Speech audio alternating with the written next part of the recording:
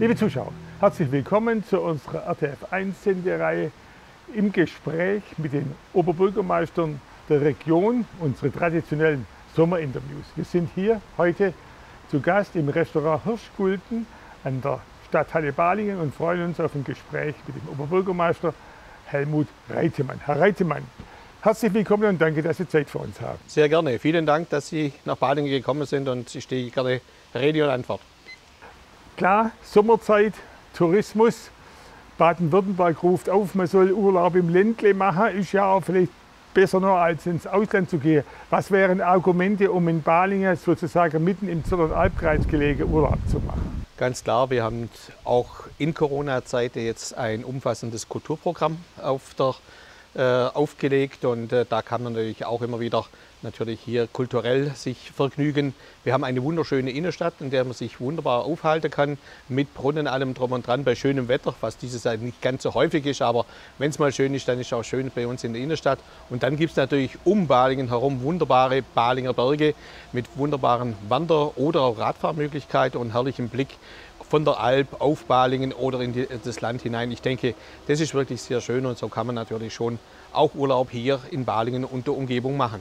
Und es wird noch schöner, Sie haben den Zuschlag gekriegt 2010 für die Landesgartenschau 2023.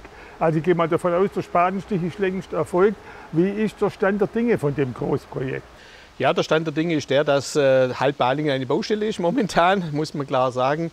Gerade an unserer Eyach entlang, das ist ja das Hauptgebiet, wo dann die Gartenschau 2023 stattfinden wird. Da finden sehr viele Baumaßnahmen gerade statt. Man sieht langsam, wie es wird. Gestern hatten wir ein schönes Großereignis. Gestern wurde die erste Brücke eingeschwenkt und äh, verankert, sodass auch hier ein richtiger Brückenschlag erfolgt ist. Wir sind also voll im Zeitplan und ich denke, dass wir dann am 5. Mai 2023 eine wunderbare Gartenschau eröffnen können. Und, glaube nicht ganz unwichtig darüber hinaus, was bleibt an dauerhaftem Gewinn danach?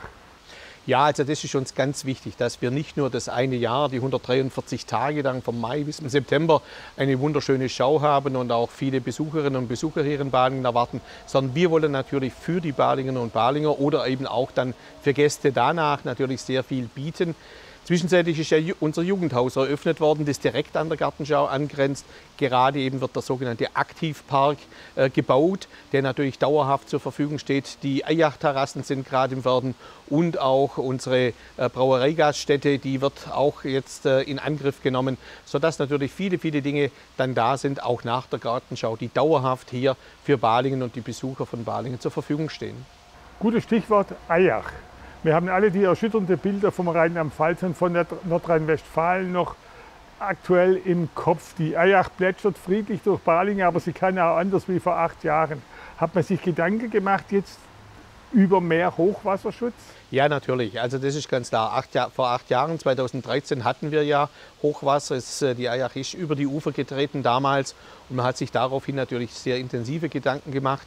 Und gerade im Zuge der Gartenschau, gerade mit den jetzigen Baumaßnahmen, wird entlang der Eyach ein verbesserter Hochwasserschutz mitgebaut, mit erledigt. Darüber hinaus haben wir natürlich sehr viele auch organisatorische Maßnahmen ergriffen, dass wir sehr schnell reagieren können.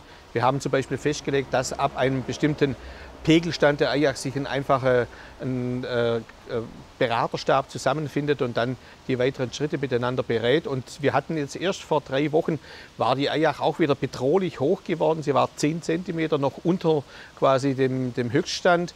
Und äh, da haben wir uns zusammengetrommelt, haben sofort die ersten Maßnahmen ergriffen. Das hat wirklich sehr, sehr gut funktioniert. Also da bin ich sehr dankbar, dass wir hier sehr gute Leute haben, die hier darauf achten. Und wir werden noch weitere Maßnahmen machen, die nächsten zwei, drei Jahre. Da hoffen wir, dass wir vom Land dann auch entsprechende Zuschussmittel noch bekommen. Ich denke, dass diese Katastrophe im Ahrtal jetzt natürlich auch da etwas befördernd wirkt. Sind Sie eigentlich ein, ein Freund davon, dass jeder Elementarschaden versichert sein müsste? In Baden-Württemberg ist es ja noch sehr viel besser als etwa in Rheinland-Pfalz.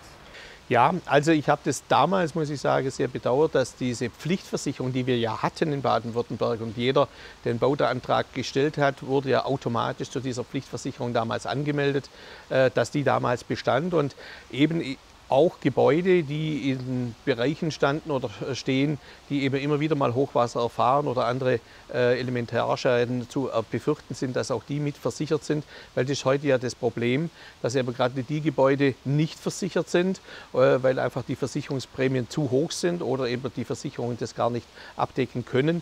Das ist ganz klar. Ich denke, das wäre vielleicht gar nicht schlecht, wenn man, das muss natürlich jetzt nicht äh, sagen wir, als Versicherung sein, die alles abdeckt, aber sagen wir gerade, wie Sie sagen, die Elementarschäden, gerade wenn es darum geht, um Feuer oder Wasser, äh, solche Dinge, dass man das mit absichert und dass das eben von einer Solidargemeinschaft insgesamt getragen wird, würde ich von meiner Seite aus durchaus begrüßen. Hochwasserschutz ist das eine, das andere war Mängel in den Warnsystemen. Gibt es in Balingen noch sowas wie Sirene? Es gibt noch Sirenen vereinzelt. Ein paar sind auch leider nicht mehr funktionsfähig. Da wird man jetzt noch mal dran gehen, zu sagen, ähm, dass wir die wieder funktionsfähig hinbekommen und dass wir Sirenen, die man vor 20, 25 Jahren schon abgeschaltet hat, dass wir die wieder reaktivieren, dass wir die wieder reinbringen. Auch das ist sicherlich eine wichtige Geschichte. Wir haben jetzt ganz aktuell in unserem Amtsblatt haben wir extra einen QR-Code äh, kundgetan, dass man diese Warn-Apps, äh, die, äh, äh diese Warn-Apps, äh, Nina-Warn-App und die Cat-Warn-App, dass man die herunterladen kann, weil das ist ganz wichtig. Und wir sind gerade derzeit dabei, bei uns in der Feuerwehr auf den sogenannten Digitalfunk umzustellen. Wir werden aber die analogen Geräte behalten. Ja. Das hat sich jetzt gezeigt. Es waren ja Feuerwehrleute von uns und auch DRK-Leute von uns im Ahrtal. Und äh, dort hat eben genau diese Kommunikationsmittel nicht mehr funktioniert. Und wir haben dann gesagt, okay, wir behalten auf jeden Fall auch den Analogfunk äh, zumindest rudimentär bei, dass man auch das noch verwenden kann. Und wir haben im Rathaus noch zwei Telefonapparate, die rein analog funktionieren. Selbst wenn der Strom komplett weg ist, können sie noch telefonieren. Auch das ist wichtig. Klar, ein Stichwort bleibt immer noch, es ist ja viel mehr als ein Stichwort Corona. Ja. Die Inzidenzwerte steigen insgesamt langsam wieder. Wie ist der Stand in Balingen? Also in Balingen sind wir Gott sei Dank, wir waren ja zeitweise äh, bundesweit in den Schlagzeilen, weil wir an der Spitze waren, leider an der verkehrten Spitze, nämlich ganz weit oben. Jetzt sind wir, äh, dann waren wir zeitweise ganz, ganz unten, äh, ganz an der unteren Seite. Und momentan sind wir, also der aktuelle Wert von gestern liegt bei 5,3, also sind wir deutlich unterm Landesdurchschnitt. Ich hoffe, dass wir nach wie vor sehr weit unten bleiben. Aber das ist natürlich ein täglicher Blick, wie sieht der Inzidenzwert aus, wie entwickelt sich der Inzidenzwert. Jetzt natürlich klar, ein Punkt ist immer Abfedern der Wirtschaftsfolgen.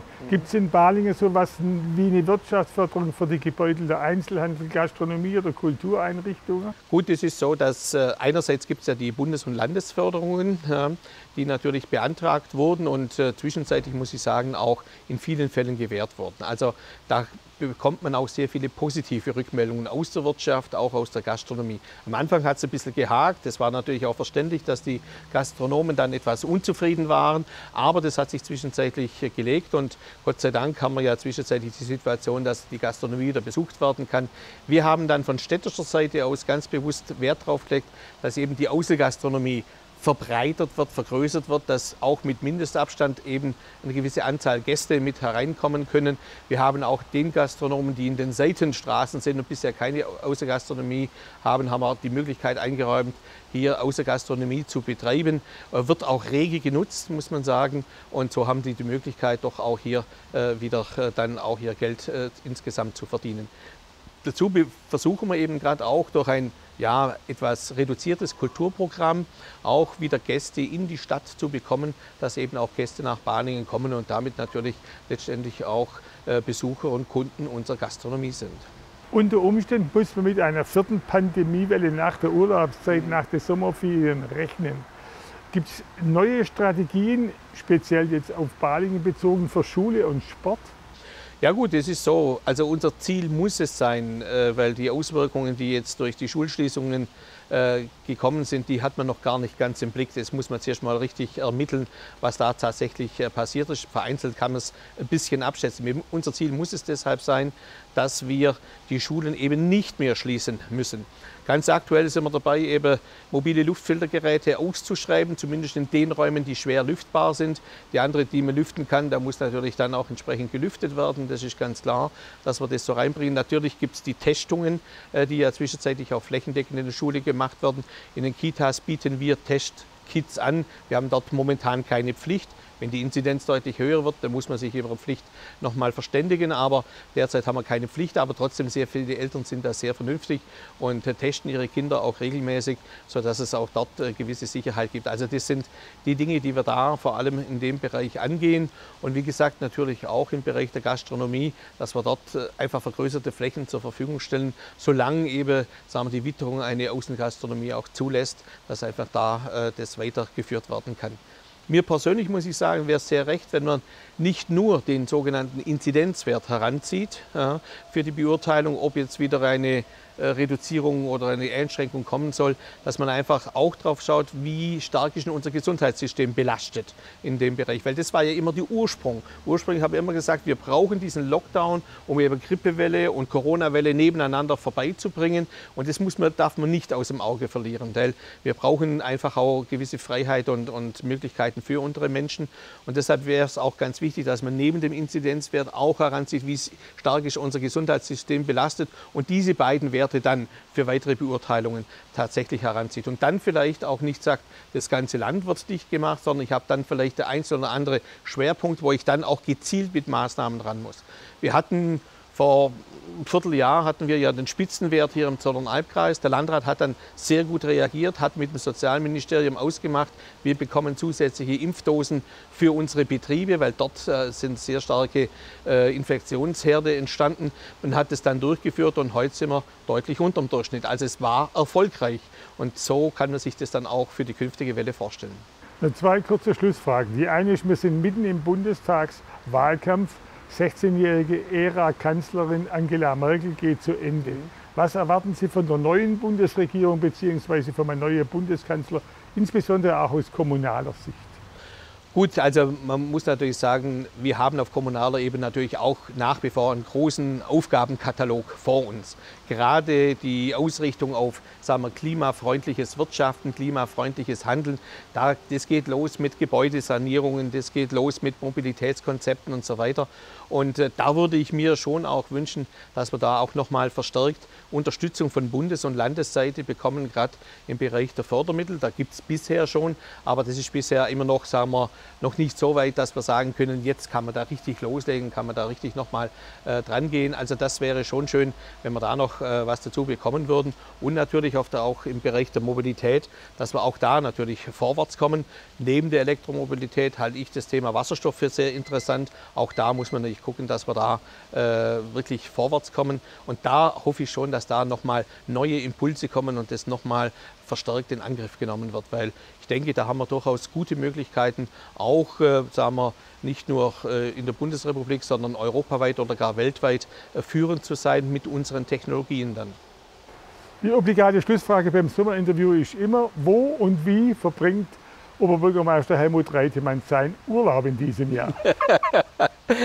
Urlaub ist fast ein Fremdwort bei den vielen Aufgaben, die man hier hat. Und es ist ja auch wunderschön, gerade die Gartenschau vorzubereiten. Nichtsdestotrotz mache ich auch Urlaub, aber ich werde zu Hause sein. Ja. Mal einen kleinen Ausflug dahin, mal dorthin im Ländle, sei es an den Boden, sei, sei es auf die Alp oder in den Schwarzwald oder auch mal ein bisschen drüber hinaus. Aber im Wesentlichen werde ich zu Hause sein. Also keine Fernreise ist angedacht, sondern ich genieße einfach auch mal zu Hause zu sein, weil ich sonst sehr viel unterwegs bin. Herr Reidemann, vielen Dank und natürlich viel Freude bei der bisschen Entspannung und im Urlaub. Vielen Dank, Herr Steck, vielen Dank für das Interview. Hat mich sehr gefreut. Dankeschön. Liebe Zuschauer, Ihnen natürlich auch eine schöne Sommerzeit und einen guten Urlaub. Passen Sie gut auf sich auf und machen Sie was draus. Und natürlich darf ich Sie darauf hinweisen, Sie können unsere Talks, Interviews und alles andere auch in einem Neckaralb-Podcast bei RTF 1 anhören und nachhören. Ich danke für Ihr Interesse, sage auf Wiedersehen, bis bald.